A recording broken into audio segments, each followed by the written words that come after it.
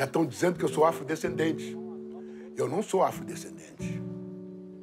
Eu sou negro brasileiro. O mundo é que é afrodescendente. O Giba, o Sopapo e tudo que está em torno uh, de, uh, expõe claramente, sem nenhuma dúvida, o vigor da cultura negra no sul do sul do Brasil também, né? E ele é um, um músico, um sujeito, um agitador cultural também, que tem um trabalho uh, muito importante, fundamental na história da, da cidade de Porto Alegre. Né?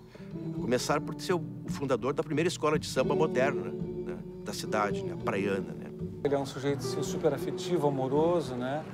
É um cara fundamentalmente artístico, o tempo integral, assim. Isso é muito legal, é muito motivador, nem é um tipo de personalidade que eu acho que seja muito comum aqui no Sul, sabe? Salve, salve, meu povo irmão. Passando por essa guerra.